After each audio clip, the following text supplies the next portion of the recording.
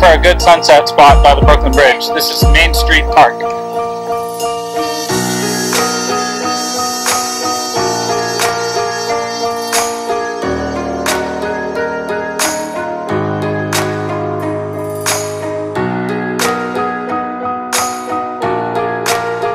I think we found our spot.